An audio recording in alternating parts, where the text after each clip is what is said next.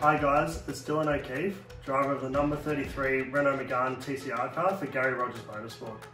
I've been asked to give you guys a little tour of my simulator room um, from the guys at TCR. So here we have in the background um, the actual Formula 3 car that we're using this Thursday night uh, in the ARG Esports Cup, which has got off to a pretty good start for myself. I mean, been nice and consistent with a few podiums, but unfortunately in the last round uh, was in an accident Anyway, it's been a lot of fun. I'm looking forward to finishing off the season well in that championship and it's keeping us race fit as well, which is pretty cool.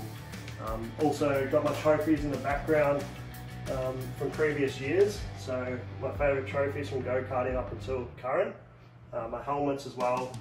Uh, my go-kart helmet up until my racing helmets with the V8 and TCR helmet too. So that's been good. Unfortunately, no TCR trophies. Ashley said we kept them from last year, so eventually might get those remade, which would be good memories as well. And hopefully we'll get to collect a few more this year once we get back on track.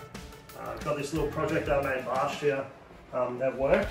It's a couple of V8 wheels that I used last year, one off my Super 2 car and one off my debut at Gold Coast as well. So they've got a full spindle, brake rotor and everything. So thought that was a good little project and some memories of last year's racing. Um, hope everyone's staying safe and uh, yeah, look forward to catch up with you guys soon.